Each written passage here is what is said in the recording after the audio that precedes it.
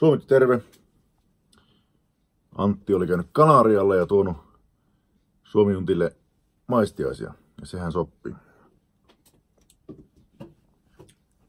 Nyt on tämmönen Artemi, Ron Artemi rommi. Ja tuota, kulta, tuo oro tarkoittaa ilmeisesti kultaa, niin joku kultamalli.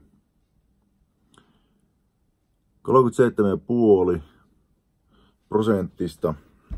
Ja tietenkin jostakin kyykkyhyllytä ja tää on tämmönen näytepullo, muovinen. Mutta en usko, että kovin herkullinen on. Katsotaanpas. Tää on puolet vaan. Heitetään jälkianalyysiä varten toi.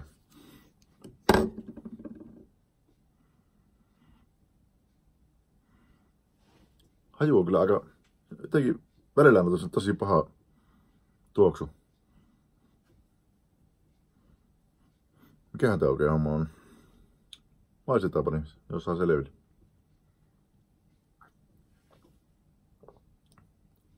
Ui. Sepä oli äkkipikaisen makusta.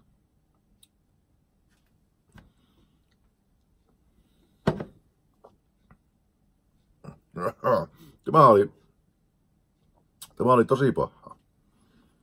Siis sillä niin ei sillä ällöttävällä tavalla pahaa, mutta tuommoisella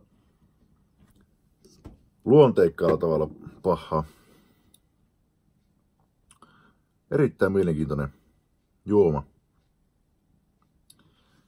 Tämä on kaksi ja puolusta. Kaksi ja puoli kautta viisi. Kiitoksia Antti ja Laura. Moro.